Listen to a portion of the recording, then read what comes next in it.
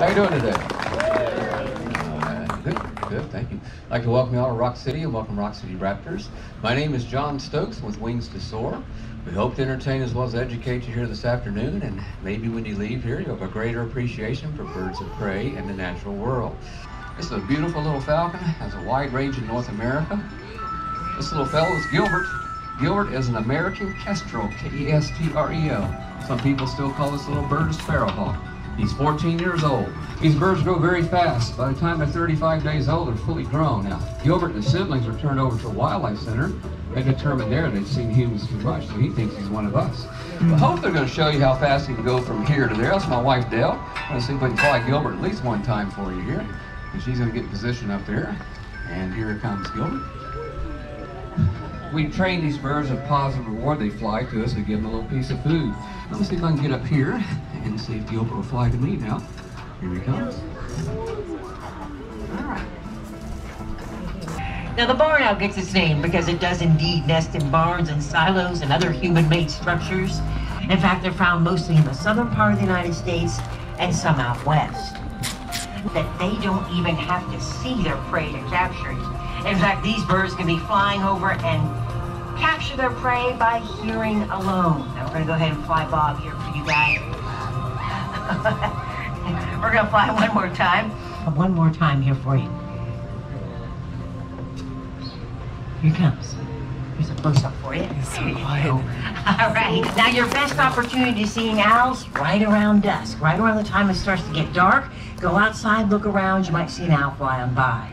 Well, this is Buddy. He's an eastern screech owl. Oh. When I walk around with him, you'll notice something a little different about his left eye. He's blind in that eye. Unfortunately, Buddy was hit by a car or truck. Believe it or not, it's not uncommon for owls to get hit by vehicles. These birds have 14 cervical vertebrae or neck bones. We have seven. A giraffe has seven neck bones as well. I can turn my head roughly 180 degrees. These birds go 270 to 300 degrees and do so very quickly.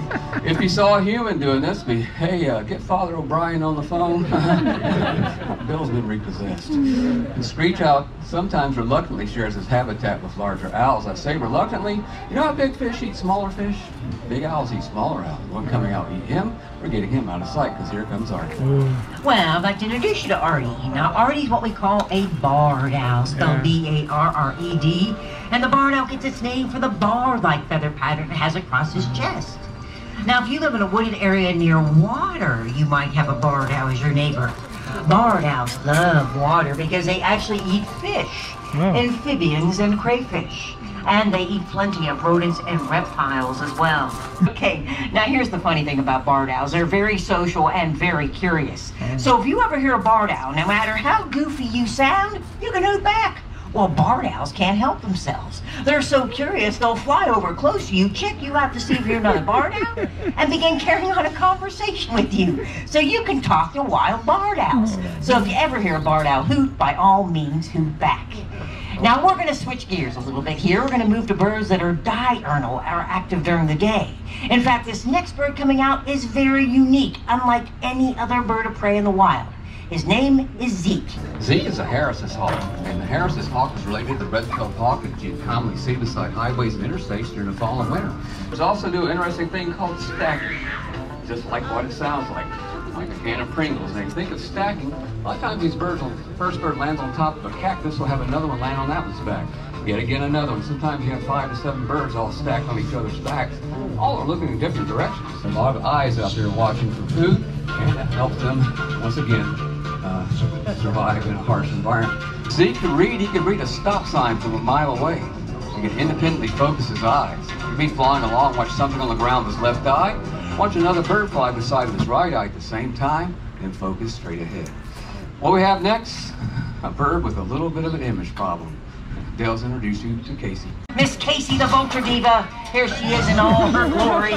Broad wingspan. These birds love to soar. Whoa! An uprising warm air. Told you she has an attitude. Casey nipping at John there, actually biting the heck out of John. That's called pecking order. Since Casey thinks she's human, she's decided that John is beneath her in the pecking order. But she doesn't peck him, she does bite the heck out of him. Which I think is kind of funny, actually. So nature has given the vulture a very creative way to protect itself.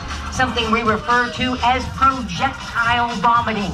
A potential attacker gets too close and they simply puke in the hmm. attacker's face. Now, their vulture vomit is so gross that generally mm-hmm. after getting a face load of this, the attacker will run away and puke as well.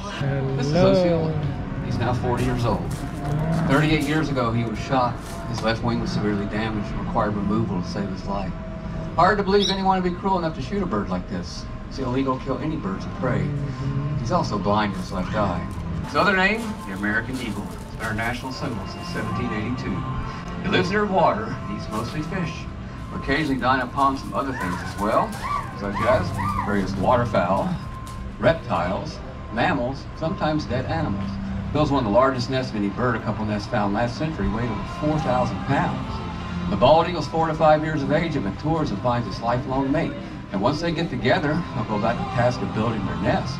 And once that's completed, one to three eggs are laid, which are incubated by both adults. After 30 to 40 days, the eggs hatch and the young grow very fast.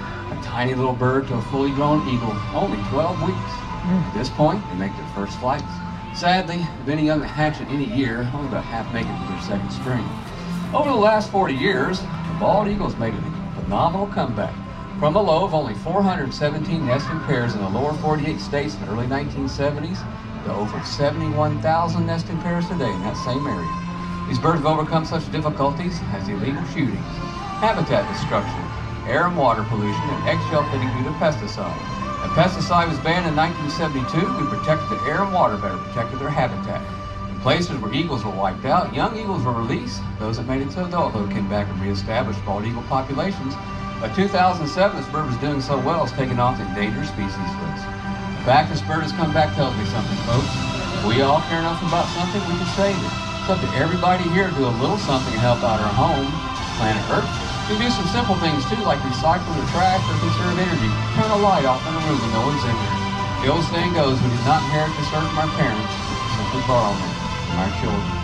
We would like to thank you all for coming and spending part of your Saturday with us here at Rock City. If you'd like to bring this program to your school organization, take a photo of that sign right there. If you'd like to donate the Wings to Soar, money goes to help the birds. And I'd like to thank my wife and co-host Dale Kernahan, and once again, thank you all for coming out. Please be safe on your travels home. Thank you.